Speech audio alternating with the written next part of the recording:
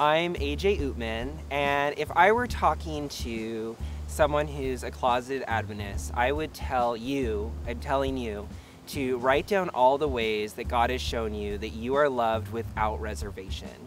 Uh, I remember when I was coming out and just struggling with a lot of things, a friend told me, write down all the ways that God has shown you that God's been there for you. And I wrote them down, and I was shocked to find I had 30 things of times when people would come at just the right time, or I got this information that helped me so much, or a song would play.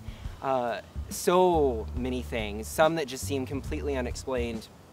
And it helped me realize that um, if I were to remove the part of me that's gay, that would also remove so many things about myself that I love because I love myself. And that's why I see my being gay as one of the greatest gifts God has ever given me. Uh, because of that, I live completely free in every aspect of my life. I uh, do exactly what I want to do. I'm a filmmaker. I always wanted to make films. Um, I'm an activist. I have amazing friends. And I live true to myself because of that process of coming out. Uh, being gay also forced me to not just read the Bible on the surface, but to dive deep into its context.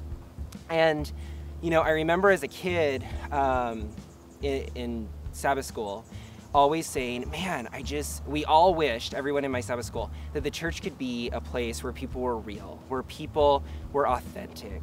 And now that I'm 28, I will attend these Adventist Sabbath schools, and I feel like we're still having that conversation.